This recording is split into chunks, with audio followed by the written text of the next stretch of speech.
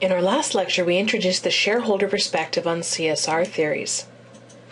In this podcast, we'll examine CSR theories focusing on the stakeholder perspective. Stakeholder theory largely grew out of reactions to shareholder value theories as an acknowledgement of some of the limitations and uncomfortable implications of shareholder value theories. It's important to note that there are a lot of stakeholder theories, and many of them are not necessarily specific to social responsibility. However, the driving objective with stakeholder theories is most often applicable to CSR because it asks how is an organization relating to its critical stakeholders? Not surprisingly, the stakeholder perspective is often adopted in public relations because our work focuses on a variety of stakeholders ranging from internal to external ones. So, if we're going to summarize stakeholder theory, then its core objective is to attempt to address the principle of who or what really counts to an organization and within an organization. It's a simplified way to look at an organization's stakeholders, but unlike the shareholder perspective, the stakeholder perspective makes more sense when we're talking about a a different grouping of organizations, inclusive of corporations, public institutions, and nonprofit organizations as well. So, in the traditional view of an organization, the shareholder view, only the organization's owners or stakeholders actually matter. And the company has a binding fiduciary responsibility to put their needs first, to increase value for them. Stakeholder theory instead argues that there are loads of parties involved, including employees, customers, suppliers, financiers, communities, governmental bodies, trade unions, trade associations, political groups, and so on and so forth. But even competitors can be sometimes counted as stakeholders because their status is derived from their capacity to affect the organization and its stakeholders.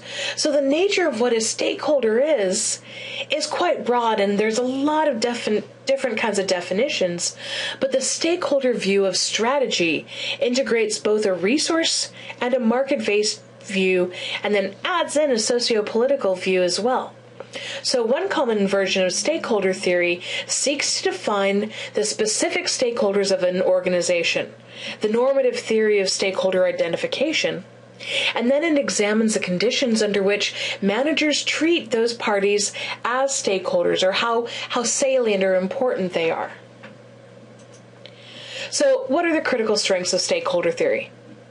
In part, it's because it's just ethically more appropriate than shareholder theory. The limitations of shareholder value theory and the risks associated with it are mitigated if an organization actively considers and has to prioritize the interests, needs, and requirements of different stakeholder groups. But more than this, it allows organizations to define value beyond just financial value. Different stakeholder groups can bring different benefits to organizations from legal to reputational support. Second, from a campaign perspective, stakeholder theories provide a more effective way for practitioners to ground CSR objectives.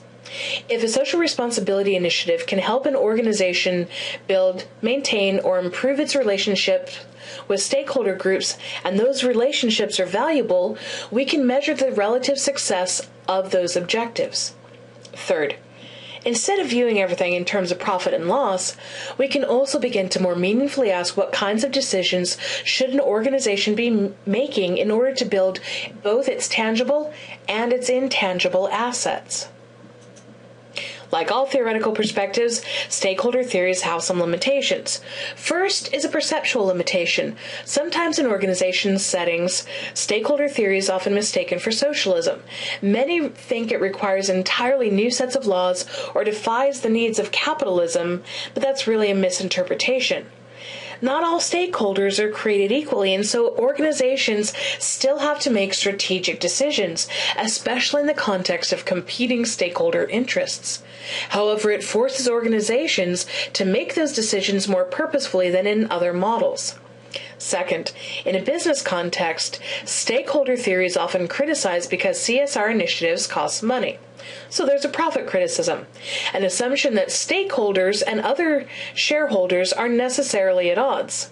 This is really a question of the short term versus long term orientation in most cases, but this is the question of where an organization's values and its priorities come into effect. If all stakeholders' value is relatively evaluated, then What's rational can go beyond monetary concerns for a host of reasons, depending what's on the best interests of the organization and its long-term survivability or ability to meet its mission. So the stakeholder perspective also allows organizations to define their mission beyond just a profit and loss mission. This is particularly realistic in a modern context. Third, and genuinely the challenge of any stakeholder perspective, is the problem of balancing competing stakeholder interests. Most stakeholder theories don't offer guidance or instruction about how to balance competing interests. So this means that stakeholder theory a lot of times has to be used in combination with other ethical stances in order to help guide and direct these decisions. But as a third grouping of, of corporate social responsibility theories, stakeholder theory offers a perspective that for public relations and corporate communications is very realistic to implement.